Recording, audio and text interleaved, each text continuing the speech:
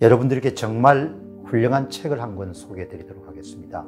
이 책은 세계사의 중요한 사건과 관련한 또 중요한 인물과 관련된 예화라든지 그런 흥미로운 이야기를 함께 싣고 있기 때문에 전혀 지루하지 않게 읽어 나갈 수 있는 그런 책입니다.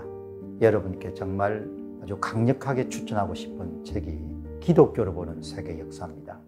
안녕하십니까 공병호입니다. 사람이 이제 어떤 자기 일을 하든지 또 자기 인생을 살든지 간에 좀 성실함과 진지함이 있어야 되지 않습니까? 예를 들면 이제 2020년도 4.15 총선에 이제 선거에서 문제가 발생했다 이렇게 하면은 좀 진지하게 그렇게 삶이든 일을 대하는 사람은 그 결론을 일단 유보하고 일어난 현상을 좀 찬찬히 이렇게 분석하고 또 이해하려고 하는 그런 노력이 중요하지 않습니까?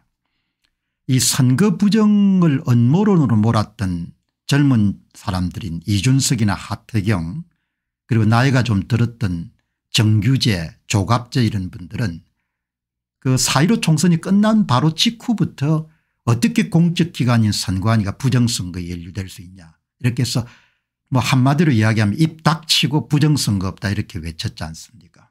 저는 다른 것보다는 그분들의 그 태도 어떤 일에 대해서 접근하는 태도 내가 그냥 없다면 없는 거야. 그런 식으로 접근하면 안 되는 거죠.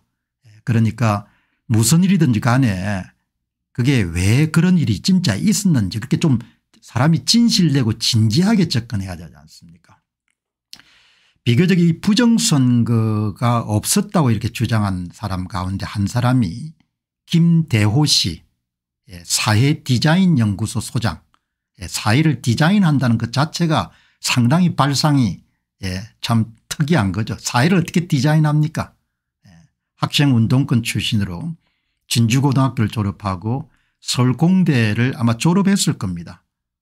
그리고 이제 사회 디자인 연구소를 하다가 관악구에 여러분들이 2020년 4.15 총선에 공천을 받았지만 뭐 세대 비하 발언 뭐 이렇게 해서 꼭 그거를 뭐 공천을 처리할 정도 사건은 아니었는데 어떻든 선거 막판에 공천이 철회가 돼 가지고 결국은 후보로 못 나왔던 김대호 씨가 있는 거죠.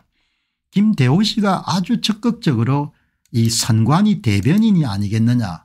그, 그리고 이제 2020년도 4.15 총선이 끝나고 지금 한 3년 6개월 정도 흘렀기 때문에 웬만하면 이제 그런 이야기를 막 공식적으로 사과까지 할 필요는 없지만 그냥 대부분 사람들이 입을 다물고 있지 않습니까?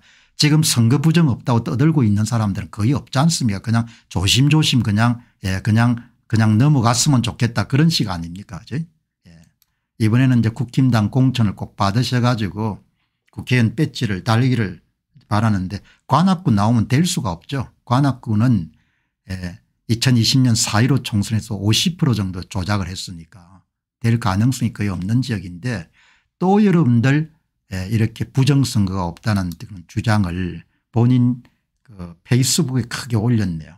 그 민경욱 국토본 상임대표가 이런 XX 같은 놈을 보겠나 웬 덮보잡이 무슨 소리를 이리 길게 하냐 제가 이렇게 글을 보니까 논리도 없고 근거도 없고 그냥 우리 표현을 쓰면 그냥 주저리 주저리 예, 그렇게 이제 글을 써놓은 겁니다. 글이란 것이 좀 이렇게 논거 같은 게 명확해야 되는 자기 주장을 특히 지금 3년 6개월이 다 돼가는 시점에서 4.15 총선에서 선관위 주도 선거 범죄가 없었다 부정선거가 없었다 이 정도 주장을 펼치려면 은 예, 반대편에 여러분들 완전히 그 예, 관역이 될 수 있기 때문에 농거가 좀 있어야 되잖아요.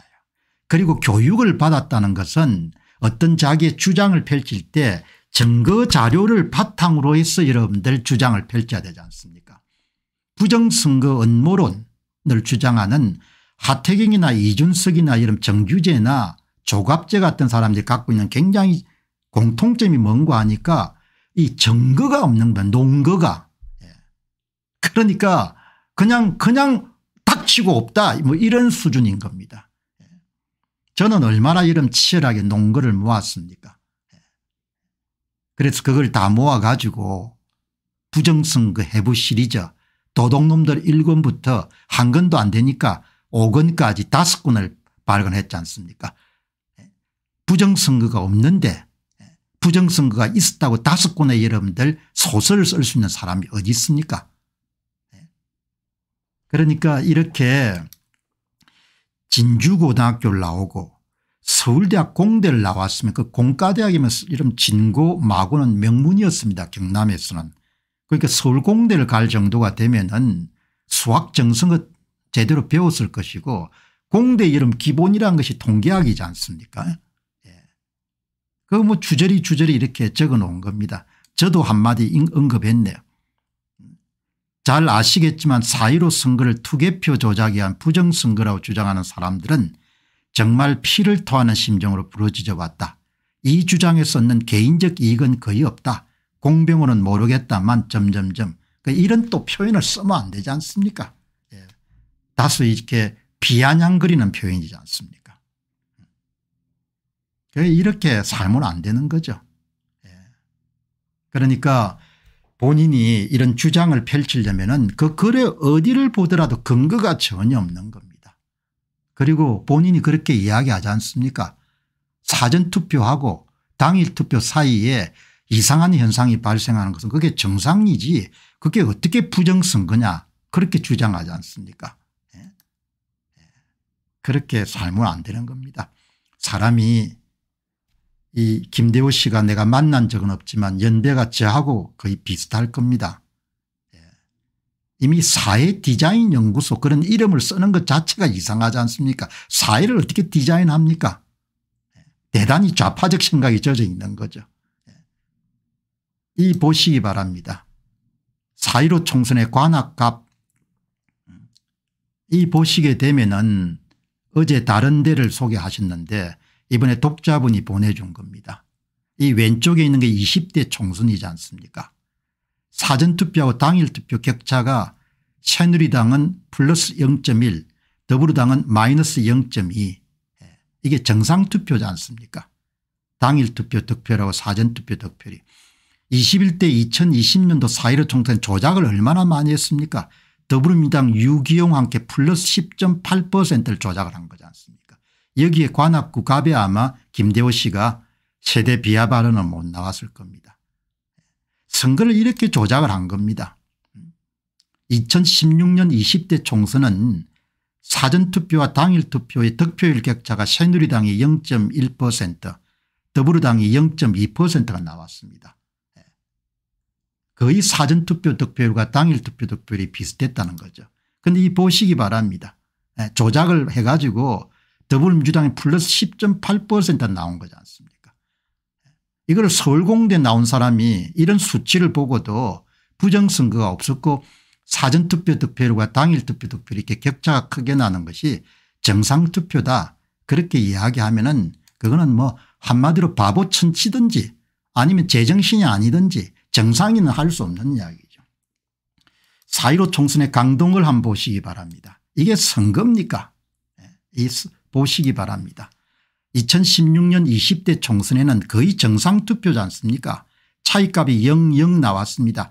모집단의 평균값이 38.3 당일투표 이름들 평균값이 38.3 관내 사전투표 이름 평균값이 38.4 모집단의 통계적 특성과 표본집단 1의 통계적 특성과 표본집단 2의 통계적 정확하게 일치하지 않습니까 21대 총선 보시기 바랍니다. 표를 얼마나 도둑질가 쑤셔 넣는거 하니까 미래통합당의 이재영에게 11.2%만큼 예? 훔쳐가지고 더불어민주당 이해시각에 12.3%만큼 더해줬지 않습니까 대수의 법칙을 위반해 가지고 부정선거를 저지른 거지 않습니까 이 부정선거를 누가 저질렀습니까 제가 뭐 솔직히 이야기하지 않습니까 선관위가 주도한 선거범죄가 대한민국 공직선거의 핵심이다. 선관위 주도 사전투표 득표수가 대한민국 공직선거의 핵심이다. 도망갈 수 없지 않습니까 숫자를 조작해 놓으니까 무식한 놈들이 숫자를 조작해 숫자를 조작하면 숫자에 없는 게다 숫자에 남는데 이렇게 조작해 가지고 이 보시기 바랍니다. 이게 선거입니까 응? 2016년 시대 선거에서는 양 후보의 이런 득표율 격차가 사전 빼기 당일이 다 0%입니다. 2020년 4.15 총선 표를 얼마나 도둑질을 해가지고 미래통합당 후보는 마이너스 11.2% 사전투표를 어마어마하게 훔쳤다는 이야기죠. 그걸 다 누구한테 줬습니까? 더불어민주당 12.3%를 다 줬지 않습니까?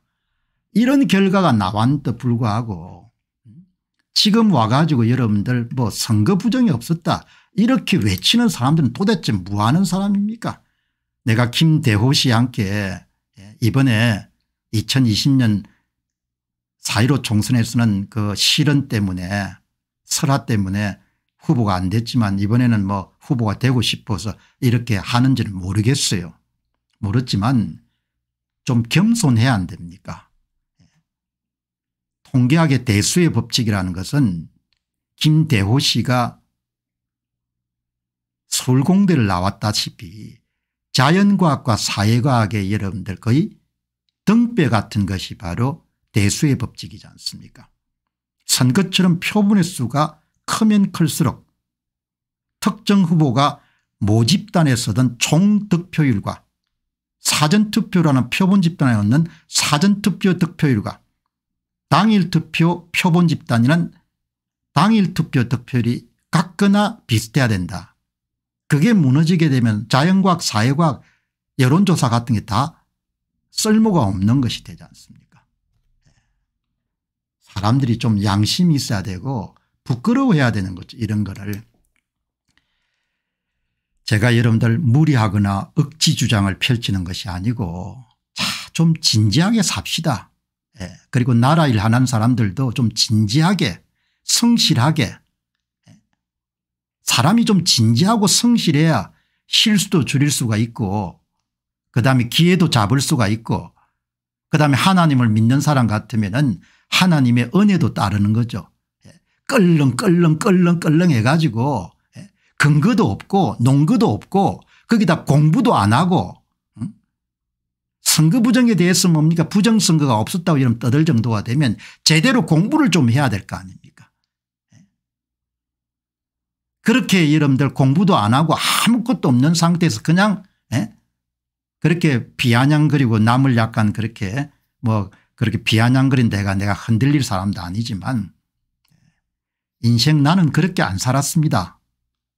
김대호 씨는 학생운동한다고 공부를 제대로 못해가지고 수학 정석에 나오는 대수의 법칙을 몰라서 그런 게 모르겠는데 나는 김대호 씨하고 다르게 인생을 살았거든요.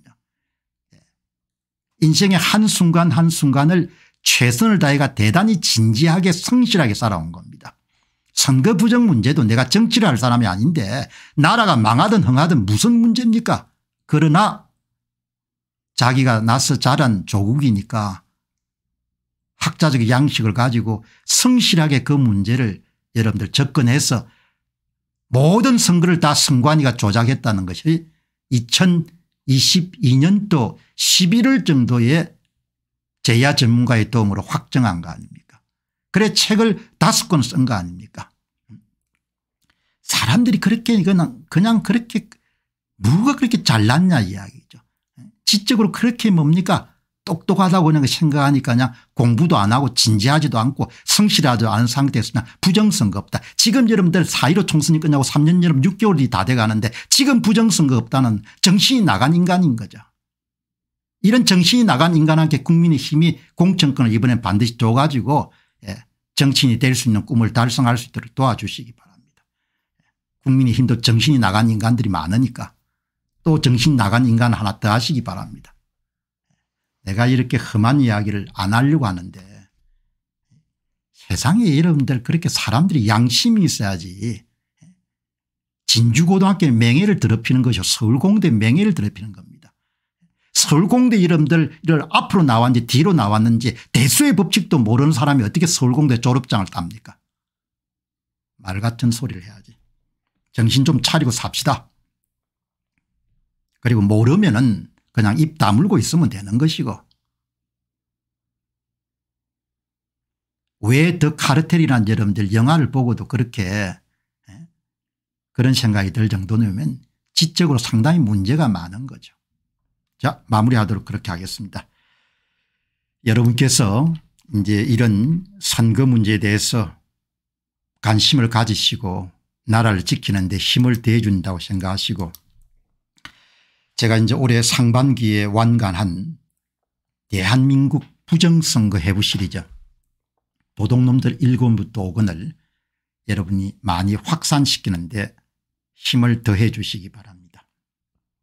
그리고 이제 공병호 tv에서 이렇게 소개하기 시작한 기독교로 보는 세계 역사 예. 김동주 교수가 쓴 신학과 역사학을 그렇게 잘 버무려서 쓴 세계 역사에 대한 보기 드문 통사입니다. 예. 통사기 때문에 여러분께서 시야를 넓히시고 또 현재처럼 이렇게 혼탁한 시대를 살아가는데 예, 지혜의 등불을 필요로 하신 분들은 이 책을 한번 도전해 보시기를 권하고 싶습니다. 감사합니다. 2022년도 대통령 선거의 실상을 파헤친 도둑놈들 2권 2022년 대선 어떻게 훔쳤나 그리고 도둑놈들 3권 2022년 대선 무슨 짓을 했나를 출판하게 되었습니다. 공직선거를 해부하는 도둑놈들 시리즈가 계속 나올 수 있도록 여러분께서 구매해 주시고 주변에 널리 알려주시기 바랍니다. 선거를 바로 세우고 나라를 바로 세우는 일에 여러분께서 힘을 대해 주시기 바랍니다. 감사합니다.